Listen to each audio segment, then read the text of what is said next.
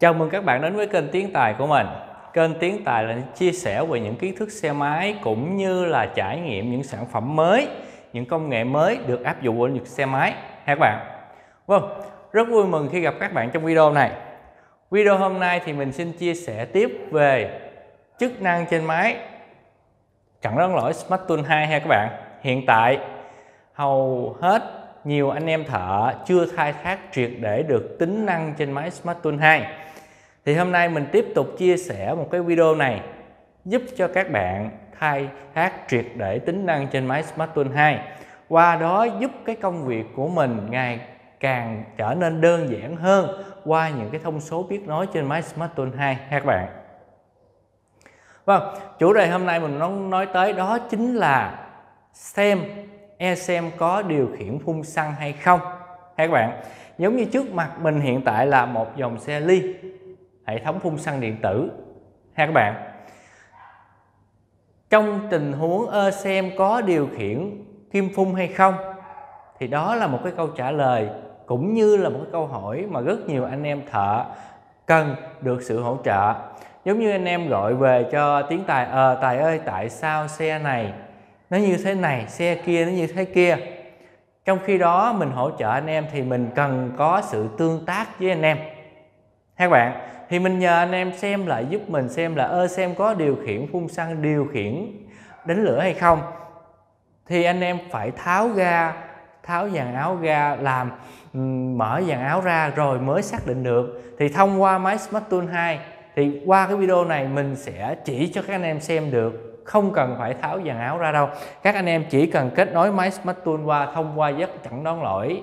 DLC là chúng ta sẽ biết được chính xác luôn là ơ xem có điều khiển kim phun hay không, ha rồi, trong quá trình xem video, các bạn thấy video có hữu ích thì các bạn hãy like, subscribe, chia sẻ giúp mình. Thì xem như đó là một động lực để cho kênh Tiến Tài ngày càng phát triển hơn, giúp anh em thợ ngày càng biết nhiều kiến thức hơn để phục vụ cho nghề sửa xe ngày càng phát triển hơn các bạn. Trong quá trình xem video, các bạn có thể là đăng ký và kế bên nút đăng ký sẽ có một quả chuông, các bạn sẽ chọn quả chuông trên cùng giúp mình để mình phát video ra thì các bạn sẽ là người đầu tiên nhận được những video mới nhất cũng như là những tính năng mới nhất trên máy Smart Tool mà các bạn có thể áp dụng vào công việc hàng ngày của mình. Nhằm giúp công việc của các bạn ngày càng trở hơn, đơn giản hơn, ha các bạn? Rồi, mời các bạn xem video. Trước màn hình của mình hiện tại là chiếc máy Smart Tool 2 ha các bạn? Chiếc máy Smart Tool 2 chúng ta sẽ kết nối với chiếc xe ly ha? Thì đầu tiên chúng ta sẽ chọn dòng là động cơ nè. Các bạn nhớ, đối với máy Smart Tool 2 thì cái màn hình này sẽ là màn hình chính. Màn hình chính của chúng ta bao gồm là động cơ phanh ABS làm fast key, tua đồng hồ, kiểm tra hệ thống led kỳ map pin. Các bạn, để xem dữ liệu động cơ hoặc đọc lỗi thì các bạn sẽ vào phần là động cơ. Chúng ta sẽ chọn. Wow, xe này là xe của hãng Honda thì các bạn sẽ chọn là hãng Honda giúp mình.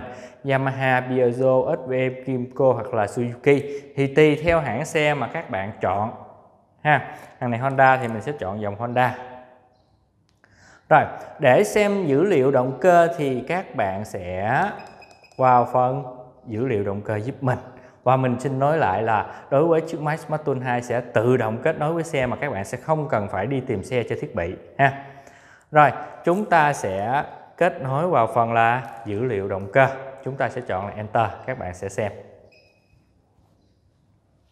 Và hôm nay video hôm nay chúng ta sẽ tập trung vào thời gian phun giúp mình, ha.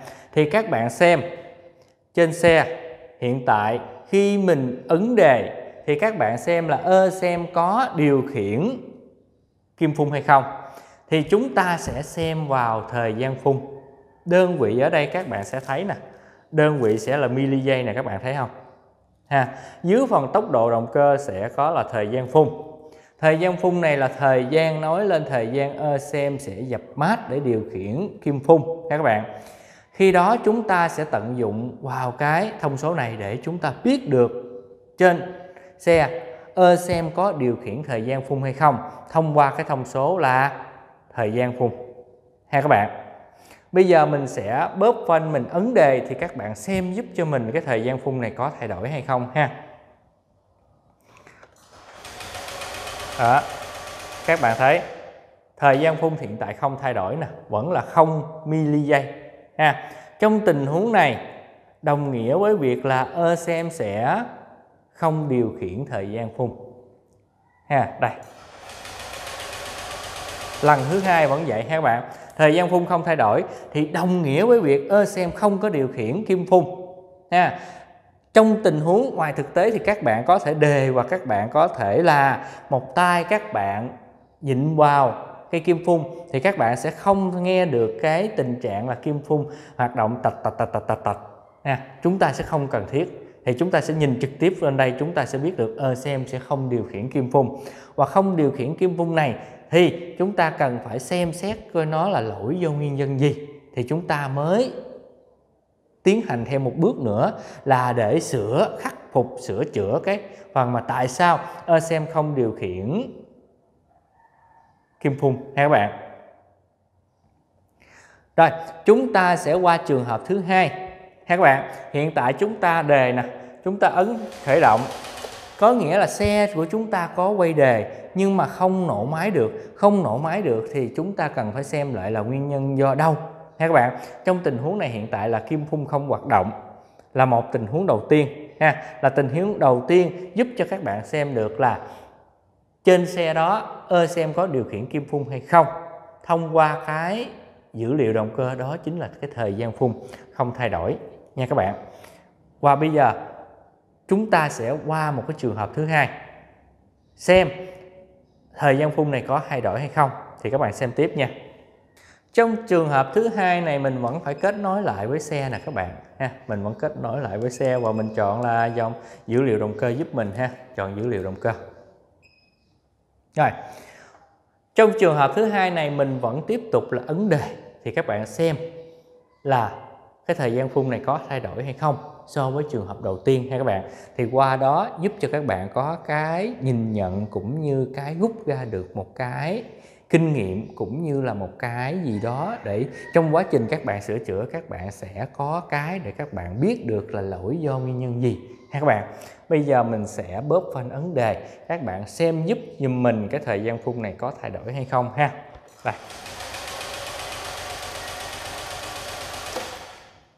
thời gian phun có thay đổi nè các bạn. Các bạn có thấy? Thời gian phun thay đổi. Ha. Thì trong trường hợp này ESM có điều khiển kim phun. Ha các bạn, có nghĩa là trong tình huống này ESM có điều khiển kim phun, nhưng kim phun có hoạt động hay không? Nhiên liệu có ra đầu kim phun hay không? Thì chúng ta cần phải kiểm tra lại. Ha các bạn, giả sử kim phun đã ECM đã hiệu chỉnh được cái thời gian phun này rồi. Mà, kim phun của các bạn không hoạt động. Ha. Xăng không ra thì chúng ta cần phải kiểm tra lại thứ nhất về mặt hệ thống kim phun nè, nhiên liệu nè, thì chúng ta cần phải kiểm tra lại xem những hệ thống nó có lỗi hay không. Các bạn, thì trong nguyên nhân, trong cái thời gian phun này đã hoạt động rồi thì chúng ta kết luận được một kết đưa ra một cái kết luận rằng, ơ, xem, có điều khiển. Kim phun các bạn các bạn sẽ xem lại. Đây lần 6.9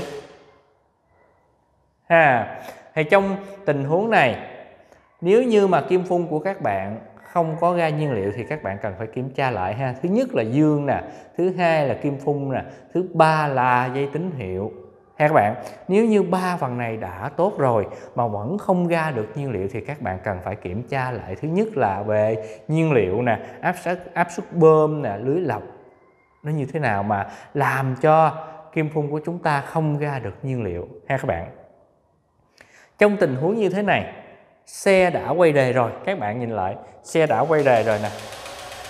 600 mấy 800 mấy vòng trên phút. Nhưng mà thời gian phun này ơ xem đã điều khiển rồi đã điều khiển lên 6 chấm mấy rồi nhưng mà lượng xăng không ra. Thì lỗi thuộc về thứ nhất kim phun. Mạch à, mạch à, kim phun nè nhiên liệu ba phần này chứ không hoàn toàn lỗi thuộc về ECM ha các bạn. Các bạn nên chú ý về phần này ha qua cái video này nè giúp cho các bạn phán đoán cực kỳ nhanh luôn ha. ECM đã có điều khiển kim phun rồi thì chúng ta sẽ tiến hành kiểm tra xe theo một hướng khác. Và xem không điều khiển kim phun thì chúng ta cần phải đo kiểm theo một hướng khác nữa, giúp cho các bạn loại trừ được 50% những cái ban bệnh trên xe các bạn? Trong quá trình xem video mà các bạn có gặp vướng mắc gì cũng như cần cái giải đáp về cái thời gian phun này ha cũng như là cái góc đánh lửa cái video trước thì các bạn có thể kết bạn Zalo với mình qua số là 0964 168 131 Zalo tên là Tiến Tài ha. Các bạn có thể là nhắn tin trên Zalo giúp mình mình sẽ trả lời cho các bạn biết ha. Rồi, video hôm nay thì mình xin kết thúc tại đây. Hẹn các bạn video lần sau.